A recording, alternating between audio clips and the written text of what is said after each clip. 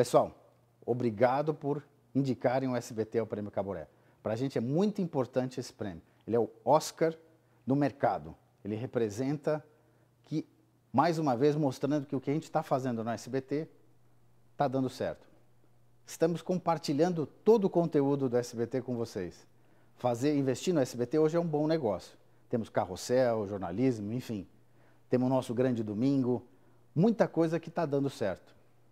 A gente desenvolveu prêmios e participou de eventos para se aproximar do mercado, para mostrar que o SBT é uma opção de um bom negócio. Por isso, de novo, votem no SBT para Caboré, na televisão mais querida do Brasil.